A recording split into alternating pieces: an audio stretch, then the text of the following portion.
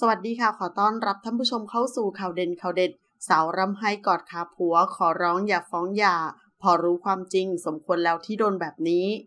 เรียกได้ว่าเป็นอีกหนึ่งเรื่องราวที่กำลังถูกวิพากษ์วิจารณ์อย่างหนัก เมื่อเว็บไซต์ต่างประเทศรายงานว่าโลกออนไลน์ของจีน ได้มีการแชร์คลิปเหตุการณ์ ที่สามีพาภรรยาไปหย่าร้างกันถึงศาลแต่ฝ่ายหญิงนั้นไม่ยินดีที่จะเลิกรา และพยายามที่จะอ้อนวอน โดยดึงแขนและก้มลงไปกอดขาสามี ก่อนรู้เบื้องหลังถึงเข้าใจ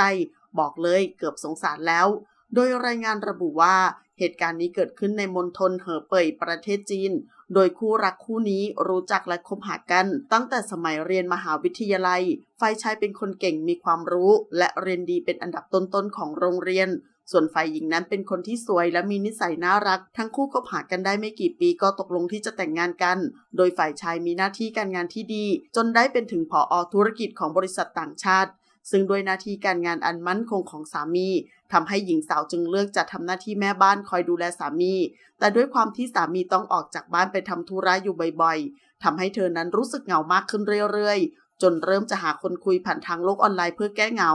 ซึ่งครั้งหนึ่งเมื่อสามีกลับมาบ้าน เขาเห็นว่าภรรยากำลังคุยโทรศัพท์อยู่กับผู้ชายอื่น ภรรยาตกใจจึงรีบตัดสายทิ้ง สีหน้าของเธอ บ่งบอกว่ากำลังกังวลและเก็บซ่อนอะไรบางอย่างอยู่ในใจ เมื่อสามีถามว่าเธอนั้นคุยกับใคร เธอตอบเพียงว่าคุยกับเพื่อนก่อนจะรีบเปลี่ยนเรื่องคุยทันที และนั่นทำให้สามีเริ่มไม่ไว้วางใจคนรักของเขา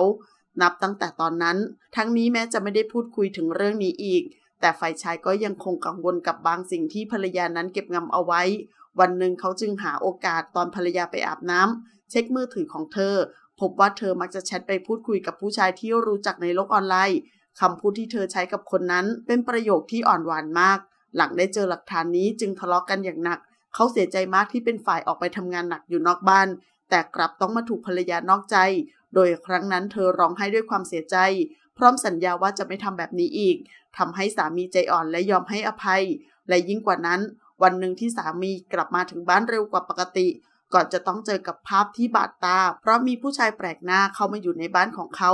ซึ่งครั้งนี้เขาหมดความอดทนจริง ๆ ดังนั้นเขาจึงพาเธอไปที่ศาลเพื่อฟ้องหย่าทันที แต่เมื่อไปถึงศาลฝ่ายหญิงมีท่าทีเสียใจอย่างหนัก ถึงขั้นคุกเข่ากอดขาของสามีและร้องไห้ ขอร้องให้สามียกโทษให้เธอ แต่มันก็ไม่เป็นผลอีกแล้ว เขานั้นถูกภรรยาสวมเขาครั้งแล้วครั้งเล่า ดังนั้นครั้งนี้เขาจึงตะโกนบอกให้เธอไปหาคนอื่น ก่อนจะมุ่งหน้าเข้าสู่ศาลเพื่อฟ้องหย่าภรรยาให้ถึงที่สุด ซึ่งเรื่องราวดังกล่าวถูกชาวเน็ตวิจารณ์สนัน่น และหลายคนต่างพูดเป็นเสียงเดียวกันว่า เธอสมควรแล้วที่โดนแบบนี้ ขอขอบคุณข้อมูลจากทีนิวส์ขอบคุณค่ะ